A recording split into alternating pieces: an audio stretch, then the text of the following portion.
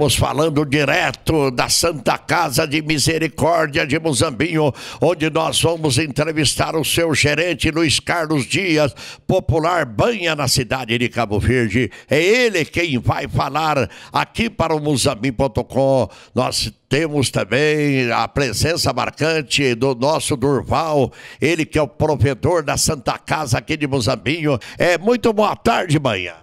Boa tarde, Regis. É, agradecer essa oportunidade de estar falando ao, ao, aos ouvintes da, da, da Muzambinho.com, para toda a população de Muzambinho.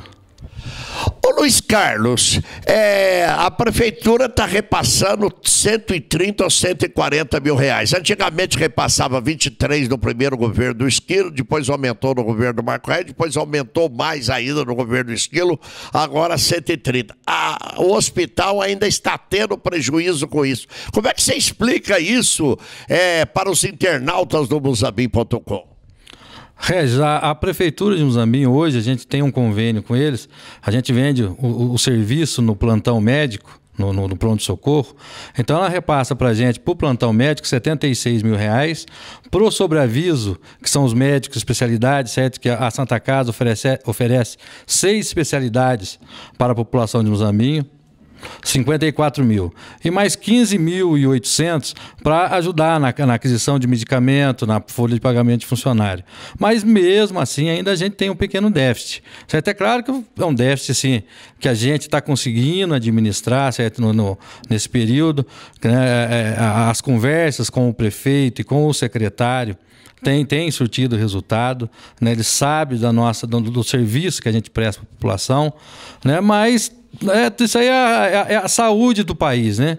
Na prefeitura, certo? A saúde hoje, ela é municipalizada, ela foi municipalizada, está sendo municipalizada de uma forma, certo? Que não vem recurso para o município. Então a prefeitura ou o prefeito está tá arcando com, com muita responsabilidade, certo? Que não deveria ser só dele, né? Que tanto que a, a 8080, a, a, portaria, né? Que a gente fala que é a Bíblia do SUS, certo? Fala-se assim, tripartite. Tripartite ser assim, a responsabilidade ser dividida nas três esferas, né? no Ministério, na União, no Estado e no município. E hoje a parte maior da saúde, certo? a fatia maior de investimento, está ficando por conta do município. Ô, Maia, é, realmente é uma coisa complicada. Antigamente, médico não ganhava sobreaviso. Hoje ganha, só ganhava o plantonista. O plantonista ganhava técnica de enfermagem, enfermeira. Hoje, médico ganha sobreaviso, o que onerou muito é, o, o, o gasto com a prefeitura para com o hospital. Como é que você vê isso? Não é que o médico não ganhava antes. É, a, a, a tabela SUS, para você ter uma, não sabia do, do, assunto, por exemplo, desde no, 1999 e 2000 que ela não é registrada. Então a gente, por exemplo, tem aí uma IH, uma internação, que em 2000 né? No ano de 2000, o hospital recebia em torno de 450 reais e 15 anos depois estão recebendo os mesmos 450 reais. Certo? Quer dizer que não houve investimento, não houve a, a alteração nessa tabela. Não é que os médicos na época não ganhavam, certo? Os médicos tinham certo? O, o, o valor deles, que era justo de uma internação. Hoje, por exemplo, uma internação assim de, na, na, na obstetrícia, certo? Num parto, numa cesárea, o hospital recebe 400 reais, onde que os médicos recebem 150. Então é um absurdo. Certo? A questão é só essa, não é que os médicos não recebiam, certo? Antes recebiam um valor justo. Com essa desoneração, certo, da tabela, essa, essa tabela ser de 2 mil e não ter um reajuste desde então, certo, ficou desonerada, ficou um absurdo, né? Então você não tem mais essa questão assim, do médico é, tá trabalhando para o SUS, né, para, para o SUS, só com os valores da IH, isso não existe. Quanto ganha cada médico para fazer plantão de sobreaviso? 300 reais a especialidade por 24 horas. O médico ele tem que ficar, certo? Num, num, num, num local, certo? De no máximo que deve chegar no hospital, quando for solicitado, em 30 minutos. Quais são as especialidades que ficam em plantão? Eu falo muito assim, viu, Regis, que, que, que Muzambinho, a população de Muzambinho, ela é privilegiada, certo? Pela prefeitura tá pagando esse serviço, certo? Para a população. Que poucos municípios do porte de Muzambinho têm essas seis especialidades, que é a, a anestesia, obstetrícia, pediatria, ortopedista, clínico geral Cardiologista. Não, cardiologista não tem ainda. Vocês não têm sobreaviso em cardiologista? Não, não temos sobreaviso. Mas e quando dá um infarto, um derrame, ou coisas que o vale, um AVC, como é que vocês fazem? O cardiologista é que tem que vir, ué, é a especialidade dele. Não, mas só que nós não temos, certo? Essa especialidade não está. Nós temos seis especialidades hoje, certo? Em contrato com a prefeitura. O paciente que chega aqui com a suspeita de AVC, com a suspeita do, do, do infarto, certo? Ele é transferido. Né? Ele, a gente procura uma vaga no SUS Fácil, né? é, é, dado o primeiro atendimento pelo, pelo médico plantonista, é solicitado o clínico geral que está de sobreaviso, ele vem, também dá a atenção que ele tem que dar e já pede a transferência do paciente. Já que você falou em médico plantonista, parece-me que era mais difícil arranjar um plantonista há três, quatro anos atrás que hoje. Parece-me que aumentou muito o número de médicos na região.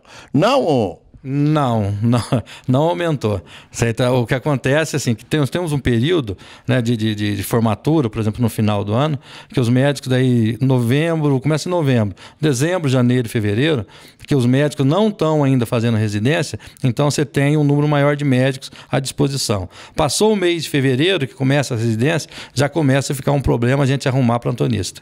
Só que aqui em Muzambinho, a gente já tem uma escala fechada. Nós temos médicos que já estão aí fixos aqui. Só de Muzambinho ou de Muzambinho, Montebello, Nova Resende, Cabo Verde, Guaxupé da região, os médicos plantonistas normalmente são daqui ou tem que se deslocar de outra cidade vizinha? Nós temos hoje só o doutor Andrei do município, que, que é o nosso, que, que dá plantão aqui em Muzambinho.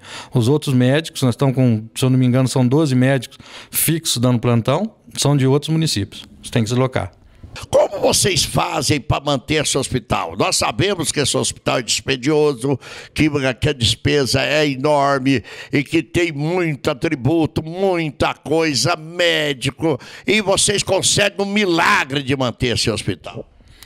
O, o Regis, a, a, diretoria, né, que está aí com a gente, aí há, há quatro anos, está aí no segundo mandato do seu Durval. Então, há quatro anos, gente já se programando, vem fazendo um trabalho certo? visando bem à frente. Né? Com, com planejamento, com organização. Certo? Hoje a Santa Casa, a sobrevivência dela, primeiro, né? A gente tem o, o irmão amigos, que dá para a gente uma sobrevida aqui dentro de Santa Casa. Quantos irmãos amigos vocês têm? Hoje nós estamos assim, de vidas, mais ou menos umas duas mil vidas, 2.200. Certo? Titulares, 1.100, 1.200. Quanto, quanto paga cada um por mês? Vai dar uma média, mais ou menos, de, de, de 80 reais por mês. Então arrecada aí 100 mil reais por mês, aproximadamente 100, 120. Não, não, não. Entre 75 e 85 mil por mês. Além disso, tem a verba da, da prefeitura para o plantão, para o pronto-socorro. Isso. Daí tem a verba da prefeitura que é para o pronto-socorro. Né? A, a, eu gosto muito da fala do senhor Durval, certo? Que, que desde que eu estou aqui há dois anos e três meses, eu escutei né, que a Santa Casa ela não recebe nada da prefeitura, não fica nada certo para a Santa Casa, para em termos de custeio, para compra de, de, medicamento, nada que a gente recebe da prefeitura. A Santa Casa é mantida pelo irmão Amigos. Há dois, a, o ano passado, nós cons conseguimos renovar o contrato com o SUS. Né? Hoje, a gente, tem, hoje a gente é contratualizado do Ministério da Saúde, né? e temos certos... Mas o SUS paga uma insignificância, meu grande amigo Luiz Carlos. Não, então a gente, então, isso que eu estou explicando. Até o ano passado, a gente recebia só pelas internações, só pela, pela, pelos procedimentos realizados.